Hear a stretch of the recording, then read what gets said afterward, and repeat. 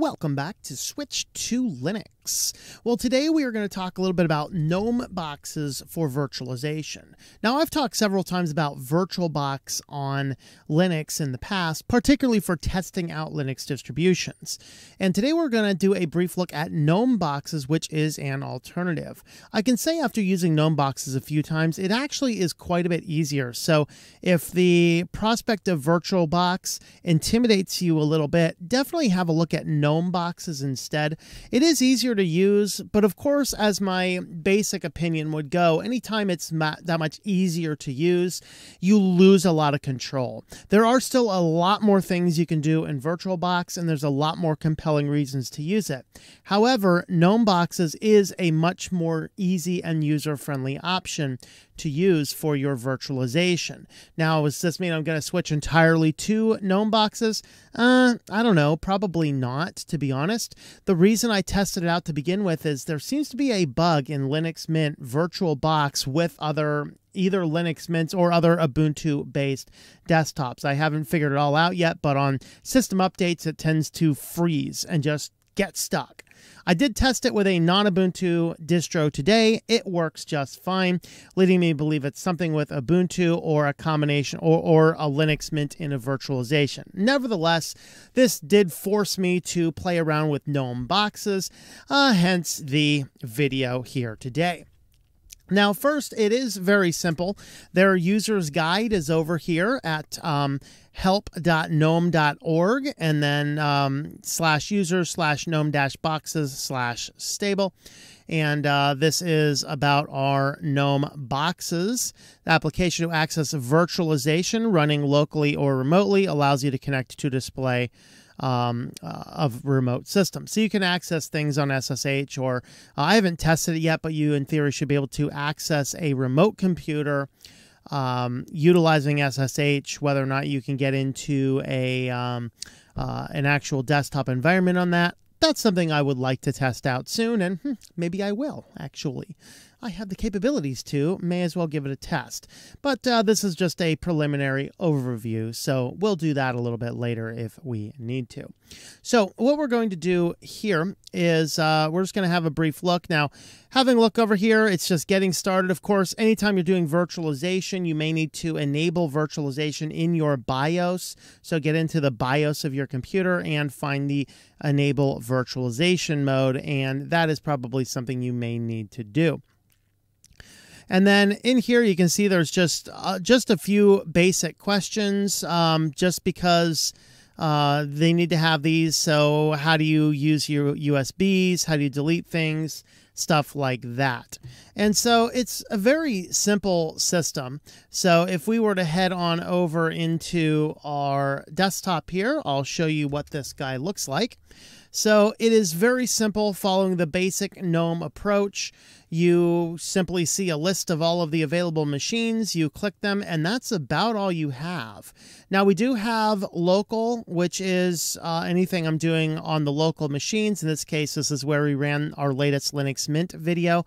And you have remote, which is anything utilizing accessing a different server. And this is actually my onboard web server here, uh, which just a test to see how you can get in there. Now, if we head back on over and pull down our hamburger menu, there's about and things like that.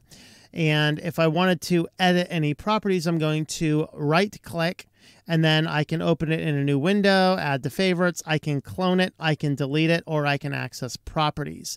Now, if you are familiar with or have seen some videos on VirtualBox, you'll know that the settings in VirtualBox can be overwhelming very large amount. Now, over here, we can adjust the name. Here is your basic system. So this will give us a monitor reading. So if you want to, want to see what it's doing, uh, you can see all those when the machine is on. Here is our memory. So you can very easily adjust the memory back and forth. I'm giving it uh, six gigabytes uh, of memory, and then the maximum disk space. So you can just slide this guy around. Now, anytime you slide this, you're going to need to um, uh, refresh your snapshots. You can also give it the CPU count. So this will tell you how many CPUs it's using. And when I first used this in default, it would collect all of my CPUs. So be careful of that if you're going to be doing like video stuff or other intensive things while these are running. So I'm going to cut it back down to half my uh, available CPUs right now. We can run in a background or not. Here is uh, devices and shares. So the CD tray, I can go ahead and hit this. And if I head on over to my downloads, I could put any um, ISO image that I have inside of here. So that's good if I want to um, just rename this guy and throw something else up over there. And then the snapshots. Um, it did automatically create a snapshot when you first create it, but that was cleared because I changed the um, uh, I believe the hard drive settings will clear out the snapshots. So also be aware of that. So as far as its usage, it's quite easy. Um, you just hit your plus button over here create a virtual machine or connect to a remote computer. If you're doing create a virtual machine, you can um, click on these guys here, which will simply download the latest versions, and then it's going to install them or you can select an operating system download or select an image file. So you can browse and search for an operating system to install. So here are some of the options that you have. And uh, you can just kind of maybe, uh, let's see, is Windows available? No, of course Windows not available. I bet Mac's not available either. Oh, well, what use is this crap? No, it's good, actually. Um, I can't do Arch. Let's see if I can do an Endeavour. Can I do anything other than this basic list? Maybe I can't. I don't know. Uh, we have Debian. Uh, we'll just kind of browse through them. OpenSUSE, Clear Linux, Android. So if you want to try some Android, that sounds fun. I might want to play with that. Uh, here's Fedora, Fedora Silverblue, Alt Servers, Alt Education, Endless OS from a variety of different countries. Here's Ubuntu's wonder why they're all Ubuntu 19s. Um, we have CentOS, which, by the way, CentOS just died today, so be careful of that. CentOS Stream might still be a thing, but CentOS 8 uh, this week is it is uh, officially de- dead. Uh, FreeBSD, here's Debian, so Debian 10s, NetBSD, more OpenSUSEs, more Fedoras, and then you can just kind of scroll through. There's Ubuntu 18s, Let's go ahead and just do a search for Ubuntu's. Okay, so in this download list we have, we're only going up to Ubuntu 19. Now you can just go to the uh, website and just grab the ISO. I mean, that's what most of you are going to do anyway. So you can just go ahead and grab the ISO image, hit the open, and then you're giving it your resource allocation. This is how many memory, uh, how much, how many memories, how much memory does it have? Uh, what's your size of your disk? And you can customize it here and then hit create. Notice it doesn't give us the things like the CPU and stuff like that. So once we hit create, it's going to just go ahead and uh, create the uh, the box. I'm just going to go ahead and cancel it because we already have one here. So just click on the box. Now, here is the only downside. On VirtualBox, you might need to install your VirtualBox guest additions.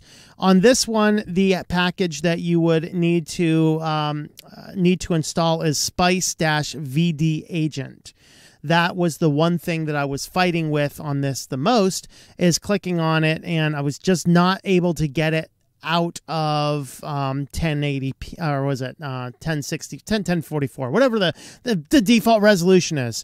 Um, i was not able to get it out of that resolution and into my 1080p so after a little bit of research then using this application um, on the machine was able to get it working so as it's loading up here we have our panel bar at the top we can hit hit our uh, maximum size screen there. It's going to display what our screen resolution is, which is 1920 by 1080. And then here we're landing on our uh, desktop. We're just going to go back to the default Cinnamon. And you'll notice that it's giving us a resolution. It looks like this, what is this, uh, 1044 by, I don't know, I forget. Uh, whatever this resolution is. Let's go ahead and just enter our password there. And once we enter our password, it should go back and set our um, default back to our 1080p, which we have set previously. Okay, so here we are, and you can see the gray bar at the top. That's going to disappear with our settings. If you want it back, just hold your mouse up on the top of the screen. You can go ahead and resize the window there or go back to full screen. We have the option for um, uh, just different keyboard options there. And here is your settings. You can send a file to the machine. This is handy, um, easier to do, way easier to do than it is on VirtualBox. We can take a screenshot. Uh, we can add to favorites. We can force it to shut down. We can restart it, or while it's live, we can do some adjustments. Now, some of these adjustments you have to reboot the system to take, but some of the adjustments will take immediately. And so there we have it. Now it's back. And now we can go ahead and proceed to use our system. Uh, we can shut it down. We can force a shutdown, or in my case here, I'm just going to go ahead and shut it down utilizing um, the regular menus, and then it's just going to close everything down and land us back inside of our GNOME Boxes system. Now, if you want to do something remote, um, you can come up here, connect to a remote computer. You can see we can do Spice, RDP, SSH, VNC, new one. In this case, I'm going to do SSH and we're going to do the user at the IP address, or if you have a domain name. So you're going to do that. It's going to connect it up, ask us for a password, and now we're into our server. So this here, I would probably just use the terminal emulator if this is the extent of what I'm doing, uh, but you can actually connect to other remote computers, and we will test out some desktop applications as well. Uh, so we're going to just close that out, back up. This lands us back over here. And let's go ahead and talk about uh, sorting and organizing. We can search for things if we have a lot of VMs. We can change to a basic list. And if you want to delete one, just go ahead and come over here and just select your, your option.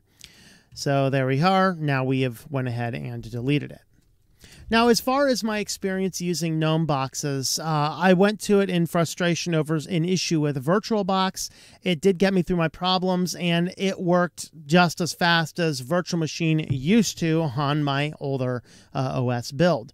So, with that, overall, I'm liking um, GNOME boxes as an option, as, as something to use for virtualization, and it's excellent to have multiple options. As I said, since I have a good VirtualBox uh, profile and system setup, I will use that when I can.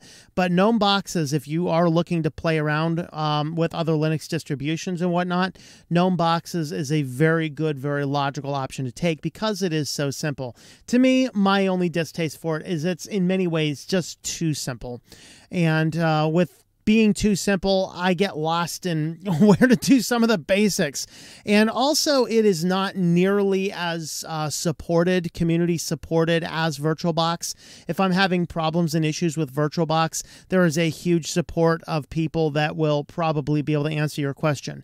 Trying to find resolutions on GNOME boxes is a lot more difficult. So consider that. Consider the that you find um, out there as well when you're considering which one of these systems you might want to use. So with that, there is my take on GNOME boxes. Let me know if you use GNOME boxes or you to take an interest in it, and uh, let me know your thoughts and your experience in the comments down below. Thank you for watching this video from Switched to Linux. This channel would not be possible without the backing of the program supporters scrolling on the screen now. You can be a supporter at Patreon at patreon.com slash T-O-M-M or at thinklifemedia.com. I also want to thank the open source community who creates such excellent software that makes producing this show possible. Please remember to support your software communities. Thank you, and I hope that you enjoy switching to Linux.